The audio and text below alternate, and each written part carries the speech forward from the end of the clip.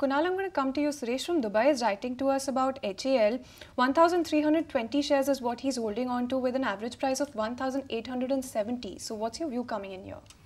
I think if you bought at 1,800 plus levels, the stock is at 46, 4700 so far. It's been a fantastic chart. Uh, you need to look at over the last two years or so, where the stock has moved from 1500 odd levels, 2000 levels to almost 5500, if I'm not wrong, was the high for HAL. So it looks attractive from a longer term play.